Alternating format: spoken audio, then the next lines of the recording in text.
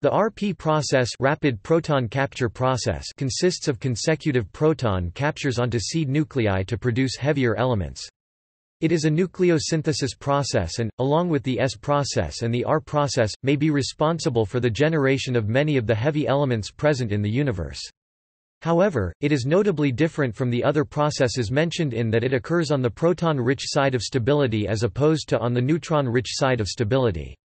The end point of the RP process the highest mass element it can create is not yet well established, but recent research has indicated that in neutron stars it cannot progress beyond tellurium. The RP process is inhibited by alpha decay, which puts an upper limit on the end point at 105 Te, the lightest observed alpha decaying nuclide, though lighter isotopes of tellurium could be proton bound and alpha decaying.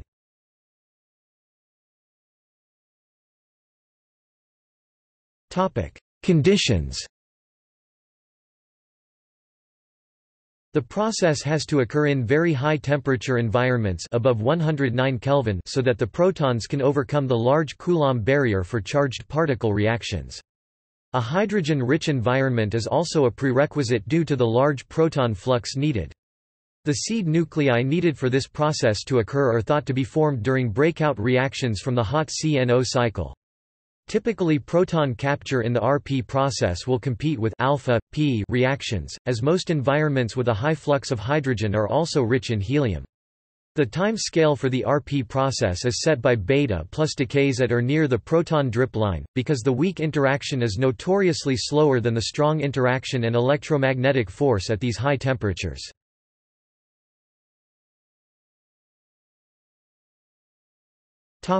Possible sites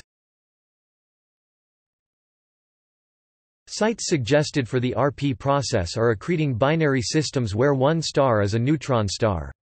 In these systems the donor star is accreting material onto its compact partner star. The accreted material is usually rich in hydrogen and helium because of its origin from the surface layers of the donor star. Because such compact stars have high gravitational fields, the material falls with a high velocity towards the compact star, usually colliding with other accreted material en route, forming an accretion disk. In the case of accretion onto a neutron star, as this material slowly builds up on the surface, it will have a high temperature, typically around 108 K. Eventually, it is believed that thermonuclear instabilities arise in this hot atmosphere, allowing the temperature to continue to rise until it leads to a runaway thermonuclear explosion of the hydrogen and helium. During the flash, the temperature quickly rises, becoming high enough for the RP process to occur. While the initial flash of hydrogen and helium lasts only a second, the RP process typically takes up to 100 seconds. Therefore, the RP process is observed as the tail of the resulting X-ray burst.